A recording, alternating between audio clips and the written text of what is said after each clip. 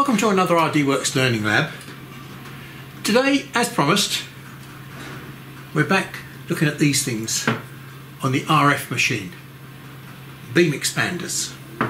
I apologise if I'm going to cover some old ground for people that have been following the series, but many people just jump in and out of these videos at random.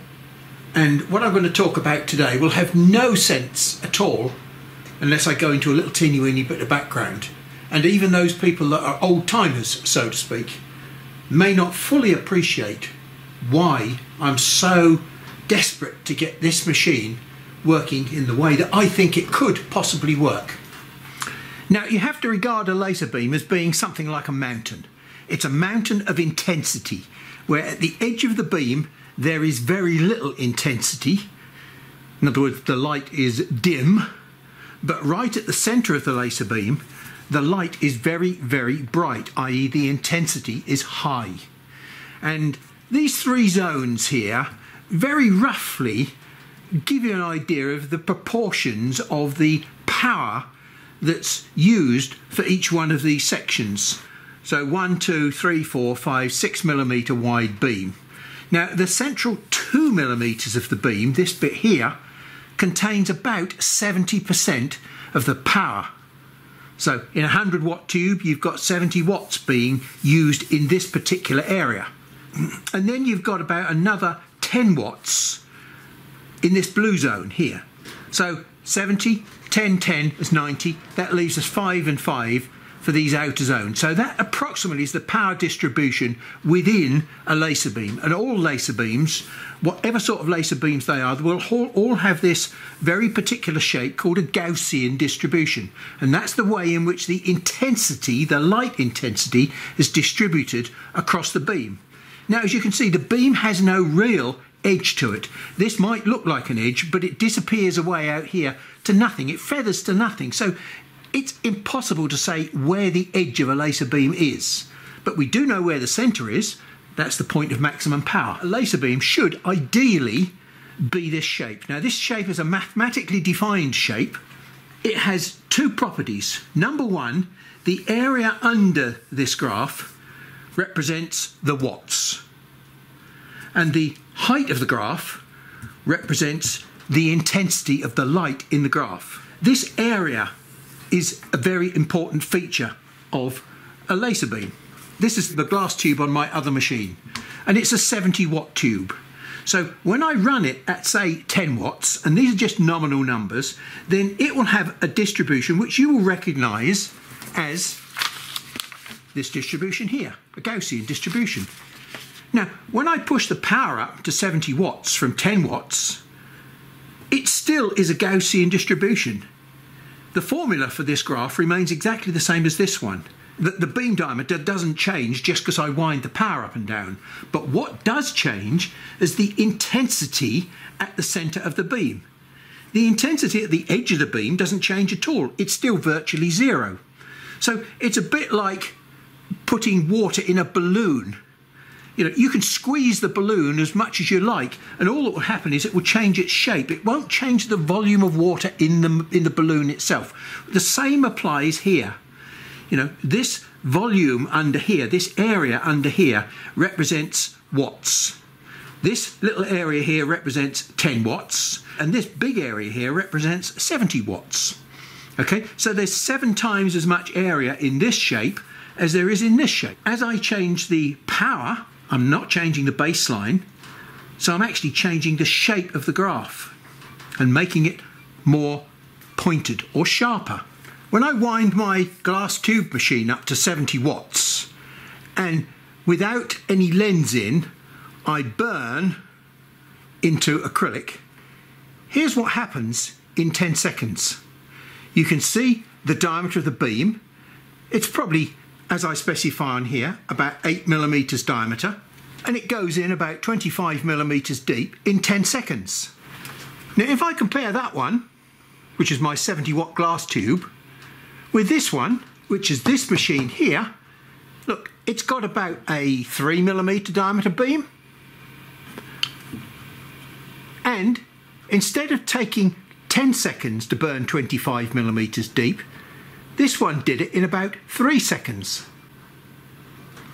So the point that I'm really making here is if we can keep this beam small, even though it's only 35 watts as opposed to 70 watts, can actually burn faster and deeper than a 70 watt tube, purely because the beam is very small in diameter and the energy concentration is high in the center of the beam, very high.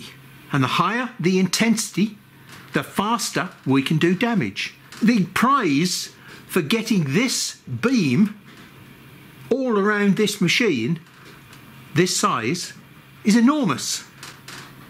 The problem is the beam on this machine will expand from this to this between the two extremes of the machine.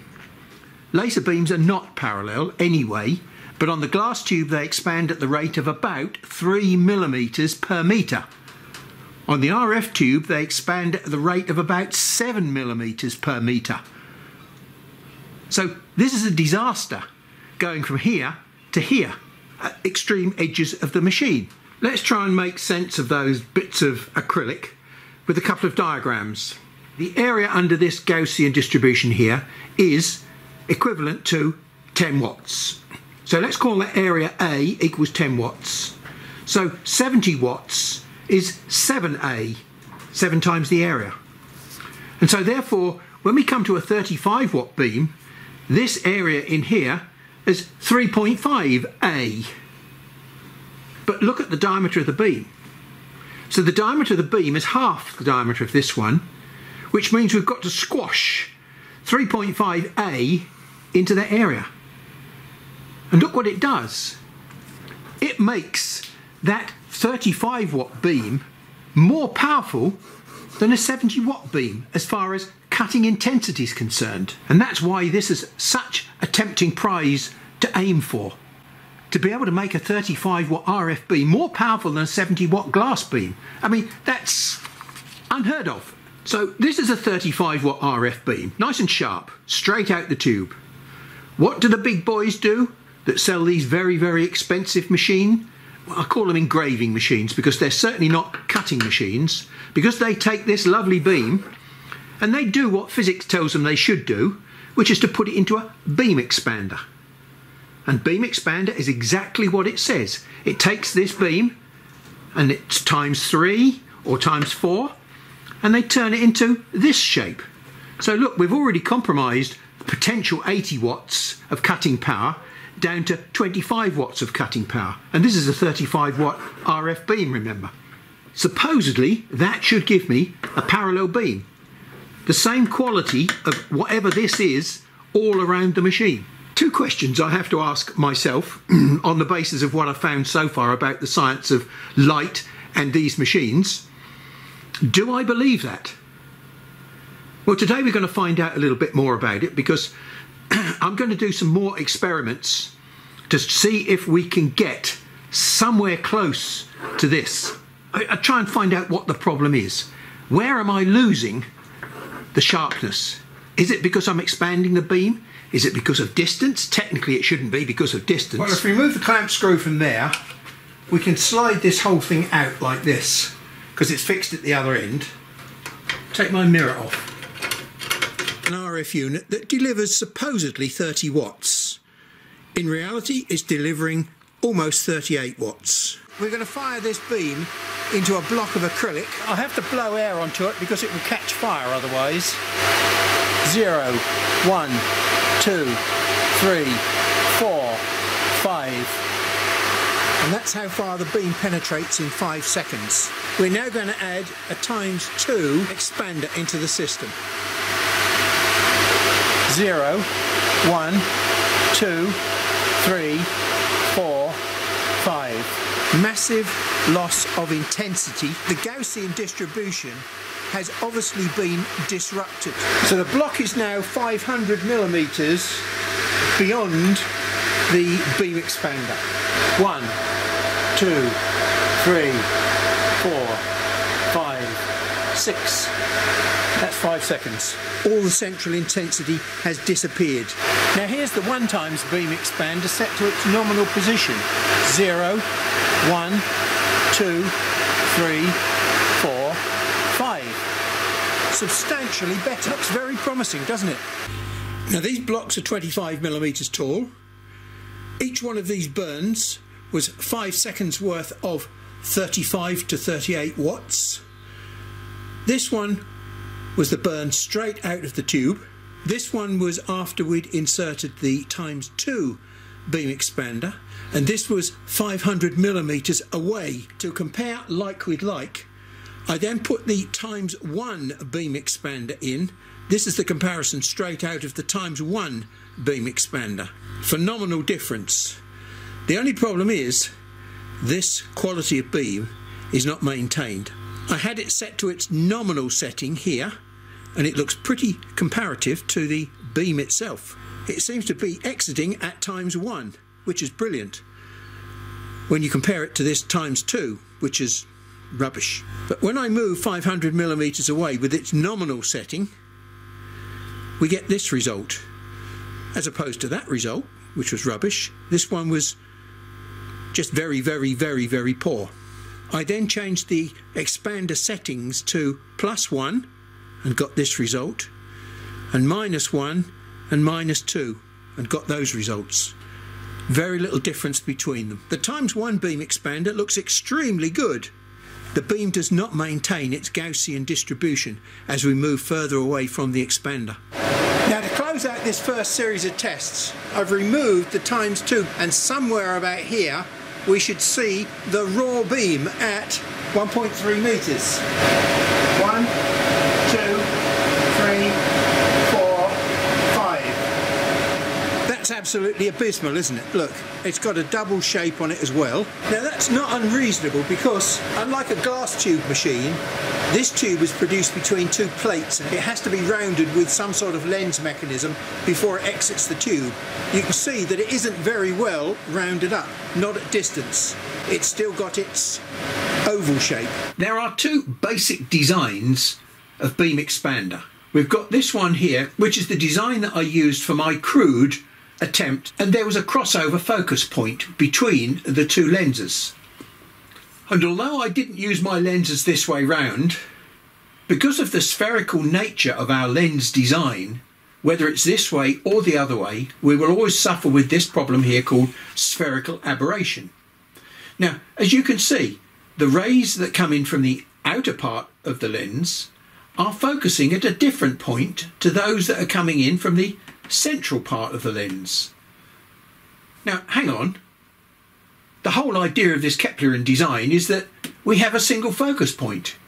If we don't have a single focus point, how can we pick up the focus point and, and change it when we get to the second lens? We start off with a nice Gaussian distribution here. We've completely destroyed the Gaussian distribution. If we take a sample across here, it is no longer that Gaussian distribution. It's rubbish. Yet we've still got the same amount of power in the beam, but it's no longer distributed in this perfect Gaussian manner. And that really is the fundamental problem. If we take that messy focus situation and apply it here, we've no longer got a Gaussian distribution to send out of lens number two. This looks a much more interesting situation, which is the way in which this times 2 beam combiner is designed. We've got a concave lens, which is going to distribute the rays differently. Now, the rays arriving on this concave lens are going to act completely differently to this situation here. We haven't got a crossover point of focus, but we've still got an expansion of the beam that arrives here and it's a spherical shape. So there will still be spherical aberration. The rays that arrive at this point will not necessarily arrive in a uniform manner. They certainly won't be as disrupted as this design, but my suspicion is that they're arriving here reasonably intact, but not sufficiently intact to be amplified through this lens system to make it parallel. As I mentioned earlier in this session, lens theory depends upon one critical factor beam diameter. You tell me what the beam diameter is on a laser beam. The full width at half maximum describes roughly the 70% power part of the beam. And that's the problem with lens theory. Lens theory cannot grab hold of a fact about the laser beam to give us real control over what's going on. Okay, now one of my correspondents, Danny Miller, has suggested that I could improve the performance of this system here by messing around with the position of these two lenses relative to each other. Now he's found on his machine that he can get some great results by increasing this distance here. Now, if you think about it, there is a certain amount of logic to that because remember what I said here? The focus is not where you expect it to be. The focus is somewhere different. I can't imagine what's happening here. So there is a possibility that what Danny's suggesting is actually valid. Some of the language that he uses, he knows quite a bit about optics and lens theory. But as we found, lens theory doesn't necessarily apply to our laser beam. Now his suggestion is that we open up the distance between these two lenses and he has found that he can get some excellent results by doing so. Now he's got a big machine and he tells me that he can control the beam diameter. My problem is I don't care about the beam diameter. What I'm interested in is the integrity of the beam intensity as it goes around the machine. Right, a couple of days have passed because I've been involved with other things, and that has given me time to think about that standard set of mode burns that we produced before we go forward and modify the times two, if we can ever get it to work, whether or not it would be transferable back to a glass tube machine. I'm currently working on the RF machine, which before I started, I didn't realise was the right thing to use for this sort of experiment. Let me try and explain. Here is a glass tube intensity profile. Now, when we run this tube at 10% power, here's the shape of the Gaussian distribution. When we push the power up to 70%, remember the beam diameter does not change, but the intensity does. I've done all sorts of testing with lenses. And remember, when we change the power or the speed or the material, we get a change in the focal distance from the nominal focal distance specified by the manufacturer. So these two different powers when they pass through a lens, they're going to produce two different focal ranges. And I said focal ranges because there isn't a focal point for this or this. There's probably a smaller focal range for this than there is for this, but they will still produce a focal range. The way an RF tube works is completely different to the way in which a glass tube works. We don't have any variable power in an RF beam. It's always got a constant current flowing through it. It appears to have change of power because you switch this beam on and off with a square wave PWM frequency. But whenever you switch the beam on, this is what it looks like. It's never any different there's always constant fixed current running through the RF tube. You just switch the beam on and off, and this is what you get. The only reason you appear to be controlling the power of an RF beam is because of exposure time. You expose this fixed beam for very, very small increments of time. So, for example, if this beam is on for 50% of the time and off for 50% of the time, it's equivalent to a 17.5 watt beam. If we turn it on for 99% of the time and off for 1% of the time, it appears to be a 35 watt beam that's doing 35 watts worth of damage. Okay, well now, look, previously I've been using 8mm thick acrylic for my little test blocks. But I just managed to recently, um, when I visited my supplier and pulled around in their scrap bin, I managed to find some 20mm thick acrylic. So I'm now making my test blocks from 20mm acrylic. Okay, it's slow. I have to cut it at 1mm a second with a 4 inch lens, but look, the results are pretty good, aren't they?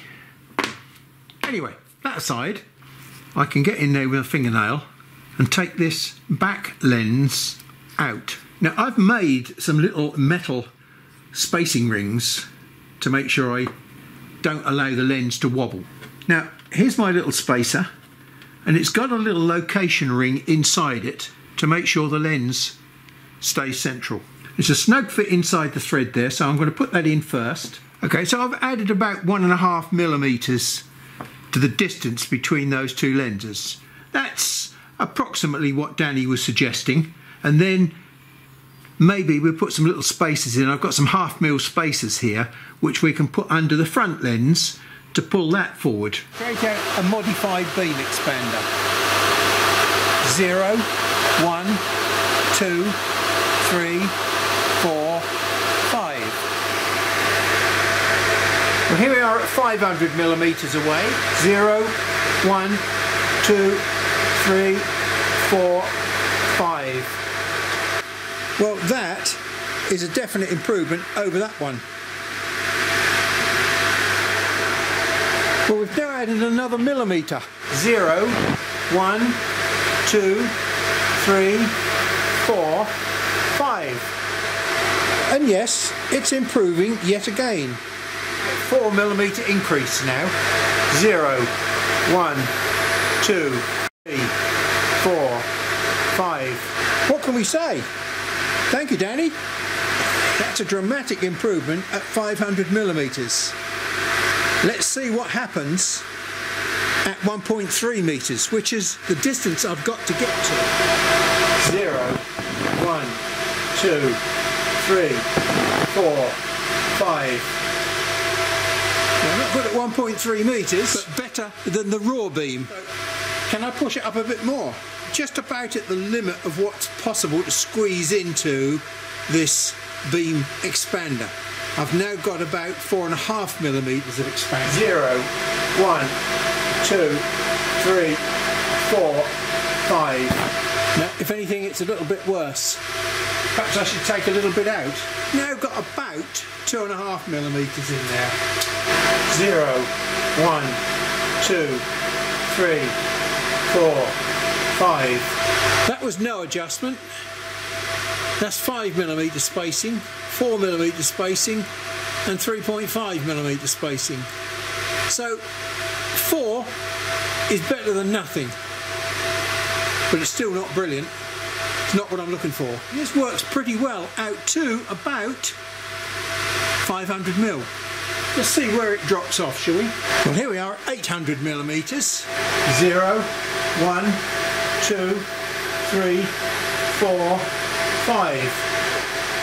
I mean, if it was like that all round the machine, we'd be pretty damn pleased. That's with a three and a half millimeter spacing in it, I believe. Four millimeters roughly at one, two, three, four, five, six. Not a lot different.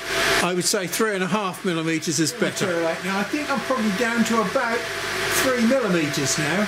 Zero, one, two, three, four, five. So that's at 800 millimetres, which is pretty good. Here we are at a thousand millimetres. Zero, one, two, three, four, five. Well, we're definitely losing it now. It's getting bigger. But that is a significant improvement. Thank you very much, Danny. So what we'll do, we'll go back and just check now what it's like at the beam itself.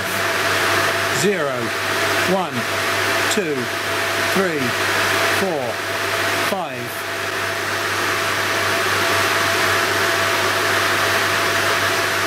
So what I'll have to do now is to measure the distance between those lenses accurately so that I know what I've got.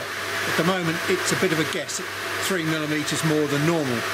So let me go and measure that. And here's a quick summary of what we're trying to achieve. So we've got to the lens with a shape like that, which is absolutely fantastic. But now what we've got to do, we've got to traverse around the machine in X and Y 500 by 300. And this is where we start losing our power. So even though we've managed to get as far as 500 millimeters, we're nowhere near solving the problem. Here's my original configuration. 36 millimeter across the lenses. Danny was suggesting we might add a couple of millimeters plus a little teeny weeny bit of tweaking to get maybe as far as two meters. Hasn't quite worked out that way, I'm afraid. Um, it may well be that the beam is nice and parallel, but as I specified at the beginning of this process, I'm not really interested in the beam itself. The beam diameter is unimportant to me. The thing that's most important to me is the intensity in the beam. I've got to keep that shape over 300 by 800 millimeters, the work area. If I can do that, then yeah, we've got a really great machine here. I had to add nearly six millimeters to the system to get that configuration at 500 millimeters behind the scenes, I've been playing, fiddling, and trying to see if I can improve the situation at 800 or 1000 millimeters. And look, I've got lots of tests here, which I've been doing, and none of them get me really much further than six, 700 millimeters, and then they drop off really, really badly. We already know that lens theory is not going to help us with this because what we're interested in is the intensity in the beam, not the beam diameter.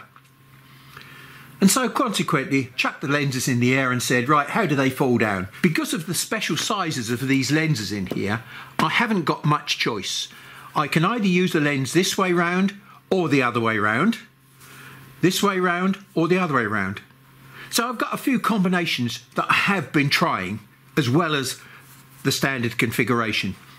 Let's throw the standard configuration out and see what else we get with this combination of lenses. Is there something else that we can achieve? Well, I've got the lens set up now with this configuration here. It's roughly the same, plus six millimeters over and above what we had originally, but the lenses are configured differently. At the moment, they're configured like this.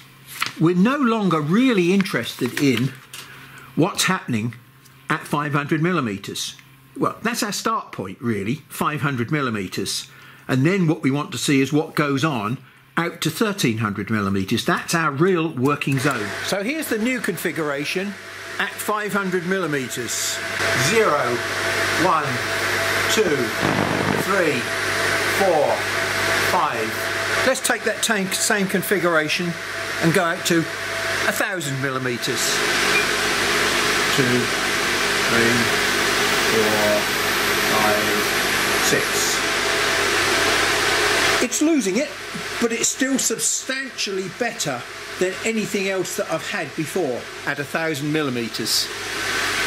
So let's push it to 1300 and see what we finish up with. Zero, one, two, three, four, five, you see what I mean? It drops off really, really rapidly at 1300. Those are the best results that I've managed to get so far. I have been playing with the times one beam expander as well, but that's absolutely useless. 150, 200 millimeters with that one, and it just drops off something like this very badly. Final test I've flipped the front lens of the beam expander over so that it has concave side outwards. Zero, one, two, three, four, five. At 1300 millimeters, that is an improvement over convex side outwards. It really doesn't matter what lens theory says. It's all a matter of what the lenses tell me. And the lenses tell me that the best way round for that lens is that way. And the best way round for that lens is that way. And it's totally the opposite way round to how this beam expander was supplied to me. It was supplied to me with 36.08 and I've finished up at 41.45 with the lenses the wrong way round. Go figure. The guys that designed this, as a two times beam expander remember, did it according to the rules of lens theory. Now it may produce a parallel beam, we're not interested in the shape of the beam really, we're interested in the intensity within the beam, maintaining that integrity. We've made a significant improvement on what it was when it started off and I would like to see a mode burn from one of these big boy machines where they claim they've got uniform performance over the whole of the table. I wonder how uniform it really is and it may well be that the tube looks like that. Great for engraving, absolutely no good for cutting. Next time we will do some cutting tests on this machine to see how the cutting varies across the table because I'm very confident that this machine will cut substantially better than it did before. Well, thanks for your time and patience. Catch up with you next time. Bye.